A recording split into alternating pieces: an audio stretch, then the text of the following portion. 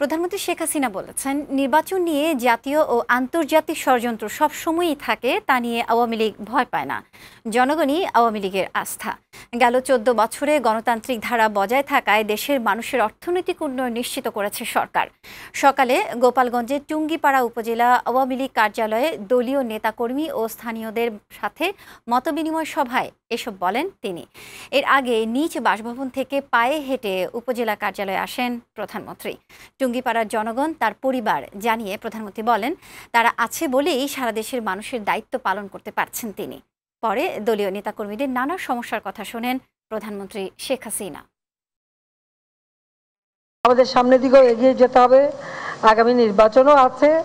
তাছাড়া নির্বাচন আমাদের চিন্তা নাই, জনগণের ভোট আমাদের আছে। তবে জাতীয় আন্তর্জাতিক কিছু চক্রান্ত ষড়যন্ত্র সবসময় থাকে, তবে ওটা ভয় পাই না। গ্রেনেড, গুলি, বোমা, সে বিশাল সাইজের বোমা, সবই তো মোকাবেলা করে এই পর্যন্ত চলে আসছি।